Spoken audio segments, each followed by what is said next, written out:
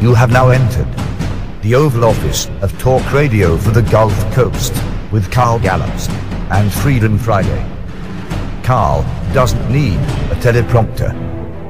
He actually knows the difference between right and wrong, and the difference between common sense and political correctness. He is on a first name basis with God. What a refreshing place to be. Now, here's Carl Gallups. Welcome to this special report from Freedom Friday. The following information that I'm going to report to you is taken heavily and, and much of it word for word from an article released by Dr. Jerome Corsi today, July 29th, on WorldNet Daily.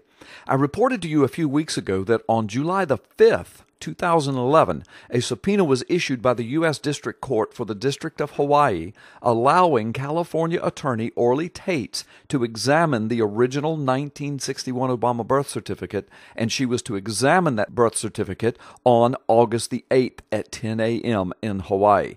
Now, Taitz's subpoena was served upon Loretta Fuddy, the director of the Hawaii Department of Health. Hawaii Deputy Attorney General Jill Nagamine is representing Fuddy. Now, because Fuddy neglected to file opposition to the court issued subpoena within the 14 days specified, the Hawaii Department of Health appears to have little recourse but to comply with the subpoena by producing the Obama original birth certificate supposedly on file at the Hawaii Department of Health. This will be released for attorney Orly Taitz's examination. Now, Taitz is planning to travel to the state agency despite receiving no answer from Fuddy as to whether or not she intends to comply with the federal court issued subpoena.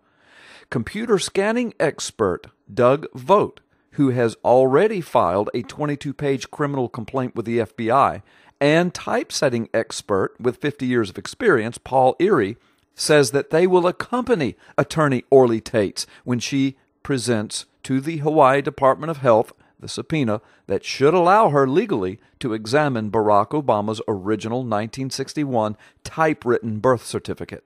Vogt and Irey both told WorldNet Daily that they are making travel plans to join Taitz in Honolulu when she goes to the state agency at 10 a.m. on Monday, August the 8th, to present the subpoena in person.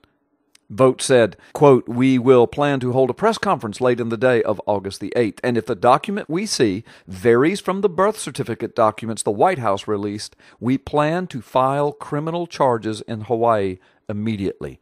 Typesetting expert Paul Irey says that it won't take long to evaluate the original birth record if it exists. He says, quote, Over the years of my career, I've seen everything that can be put on paper.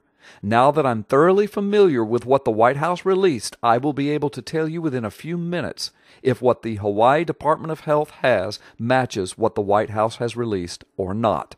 He says, I will expect to see the same differences in typeface that are on the White House version. Otherwise, I will know immediately that what the Hawaii Department of Health is showing us is a forgery. They said we will scan the document to compare it to the White House electronic version and the Xerox copies that they handed out in the press room. We will immediately make our scan available to the public over the internet so the American public can see for themselves. Irey told WorldNet Daily he expects the Hawaii Department of Health at the last minute will do everything possible to prevent Taitz from getting access to the 1961 original Obama birth certificate if it exists. Quite frankly, Irey said, I doubt the Hawaii Department of Health has anything to show us. And if we do see a document, my guess is that it will have been forged for the purpose of showing us something.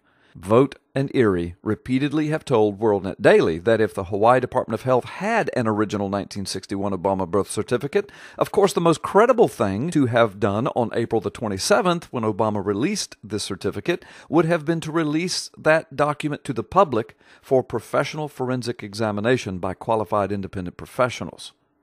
So perhaps by August the 8th, we will have an answer to the birth certificate debacle and the Obama eligibility question or not. Does anyone want to predict what will actually happen on August the 8th?